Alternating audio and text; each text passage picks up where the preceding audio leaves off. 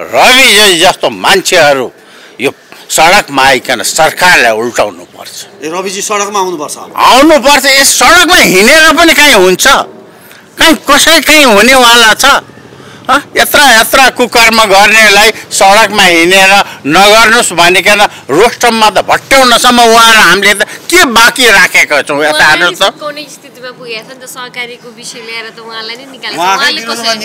होइन। उहाँलाई देखाउने मिडियाबाजी गर्ने सरकारले यो जाल झेल सक्छ भनेदेखि प्रमाणसहित कोच।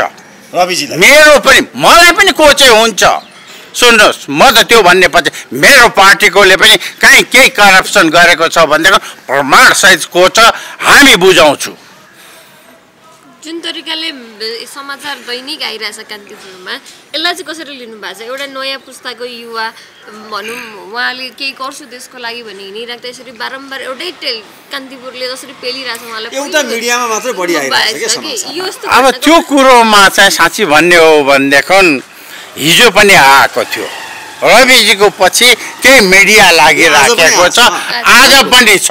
फ्रन्ट पेजमा मैले पनि देखेँ। तर चाहिँ के छ भने यसरी मिडियाको भरमा चाहिँ राज्य सत्ता चलिँदैन। नियम र कानुनले चलाउने हो। यदि त्यो मिडियाले पनि यदि रविजीको चलित्र हत्या गर्न थालेको छ र उसमा चाहिँ प्रमाण छ भने रविजीले त्यो मिडियामाथि चाहिँ मुद्दा हाल्नुपर्छ। मेरो त मुद्दै हाल्नुपर्छ। सुन्नुहोस् न देशको प्रधानमन्त्रीको एनसिएल काण्डमा चाहिँ जसरी आइराखेको छ यदि त्यो त पुष्पकमल दाहाल त हामी नेपाली तपाईँ हाम्रो पनि प्रधानमन्त्री हो नि। यसरी चलित्र हत्या गर्न मिल्दैन। हिजोको दिनमा राष्ट्रपतिले पाँच करोड रुपियाँ खायो र चाहिँ खुँडाले हान्नेलाई चाहिँ निकालिदियो। ज्यानमाराहरूलाई भनिकन आएको छ। यदि त्यो मिडियामा त्यो गलत हो भनेदेखि राष्ट्रपतिले कारवाही गर्नुपर्छ उनीहरूलाई। यदि सही हो भनेदेखि त चुप लागेर बसेको छ। हो कि क्यारे जस्तो तपाईँ हामीलाई नै परिसक्यो। खाएकै रहेछन्। नखाएको भए त बिख लाग्दैन नि। खाएकै बिख लाग्ने हो नि। त्यस कारणले चाहिँ रविजीको लागि जुन मिडियामा आइराखेको छ प्रमाणसहित अदालतमा कान्तिपुरमा लेखेर मात्र होइन कान्तिपुरले अदालतमा जानुहोस्। यो यो चिजमा यो यो गरेको छ भनिकन किन भन्न सक्दैन? होइन प्रधानमन्त्रीज्यूले योचोटि मात्र यसरी भट्टाएको होइन। हरेकचोटि उहाँले चाहिँ यस्तै सपना बाँड्ने हुन्। तर यो एक वर्षको कार्यकालमा यो देशमा नभएका घटनाहरू घटेको छ। नेपालीहरूलाई भुटानी बनाइकन विदेश लग्नु भएको उहाँकै उसबाट हो सुरु। र जति पनि ती केसमा मुछिएका छन् सरकार पक्षका मान्छेहरूलाई चाहिँ मुक्ति पाइसके धौटीमा छुटे अनेक उ गरे बोलाएनन् त्यो गरे जो चाहिँ आफ्नो विपक्षका छन् उनीहरू यो जाडोमा जेलैमा छन्। हिजो उहाँसँगै हुनुहुन्थ्यो। यो भुटानी काण्ड सुरु हुँदाखेरि बादल गृहमन्त्री थिए त्यहाँबाट सुरु भएको हो। र अहिलेसम्म विभिन्न ललिता निवास काण्डमा पनि सरकार पक्ष भएको कारणले पूर्व प्रधानमन्त्रीज्यूहरूले मुक्ति पाए। तर चाहिँ जो जो कर्मचारीहरू अरू सोझा नि लाल पूजा हेरिकन जग्गा किनेका थिए उहाँहरूको के पाप हो र? भनिकन खा भनिकन चाहिँ जसले आदेश दियो उहाँहरूलाई मुक्ति दिने। यस्तै यस्तै धेरै काण्डहरू। अहिले एनसिएलको काण्ड विभिन्न काण्डबाट यो सरकार झन झन चेपुवामा परेको मैले महसुस गरेको छ। र यो एक वर्षको कार्यकालमा नेपाली जनताले राहत महसुस गरेको छैन। कुनै पनि सेक्टरको चाहे त्यो किसानको भनौँ चाहे त्यो उद्योगपतिहरूको भनौँ चाहे त्यो जनताहरूको सहकारीमा परेका पैसाहरू थुपारेको बुढेसकालमा कि बालबच्चाहरूको बिहा वर्तमान र चाहिँ एजुकेसनको लागि छोरा नातिलाई जम्मा हुन्छ दुई पैसा बेसी आउँछु भनेको अरबौँ रुपियाँ खाइकन गएको छ यता हेर्नुहोस् यो खानेको अंशधार चाहिँ यो सरकारका मान्छेहरू पनि छन्। त्यस कारणले उनीहरूले ती गरिब जनताहरू जो कर्मचारीहरू छन् अलिकति बेसी इन्ट्रेस्ट पाउँछ भनिकन राखेको केही बोल्न सकेका छैनन्।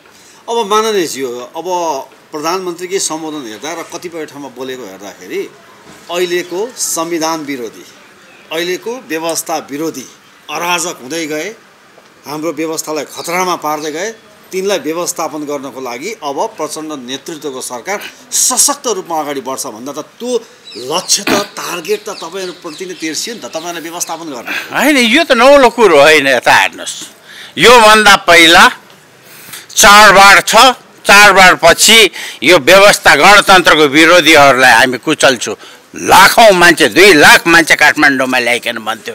त्यो पछि सुदूरपश्चिममा भाषणमा यो वर्षात सरसात सिद्धियोस् त्यो पछि आउँछु।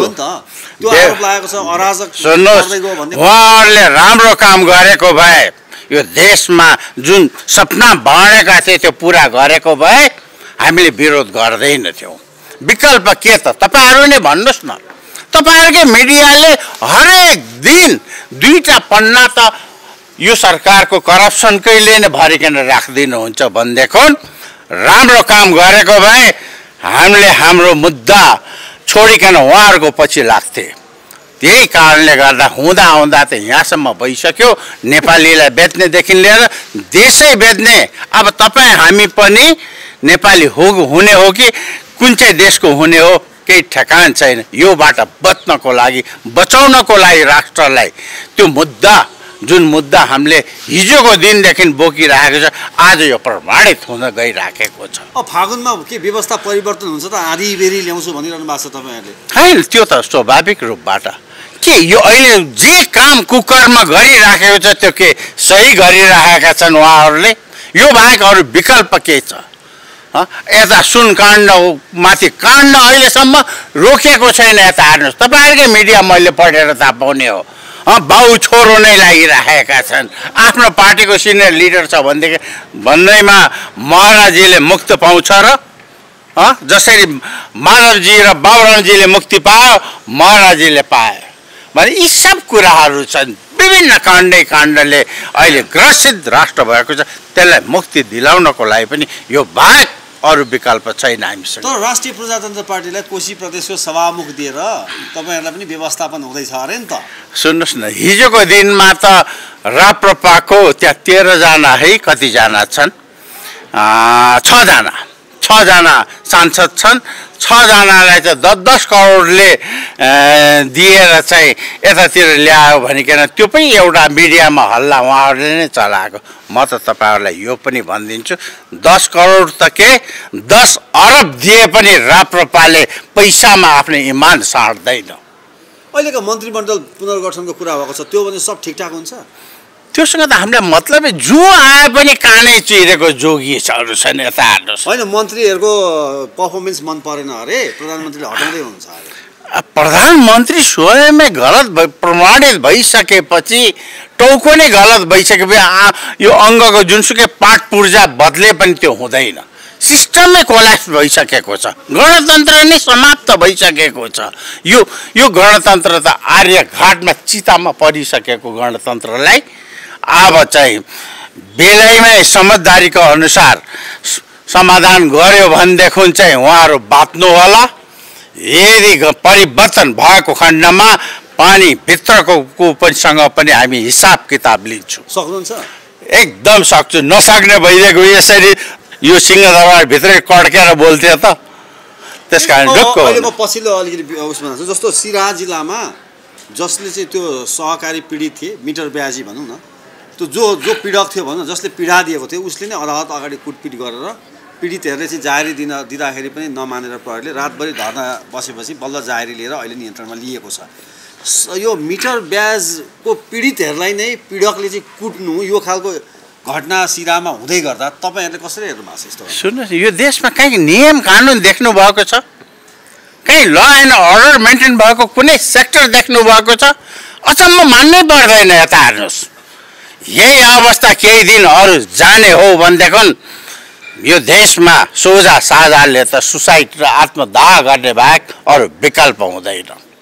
स्थिति थियो त्यो अवस्था छ यता पछिल्लो समयमा अहिले रवि लामी छानेको यो पैदल यात्रा एक सय तेह्र किलोमिटरको बाटो बनाउन दबावी समग्र घटना कसरी हेर्नु?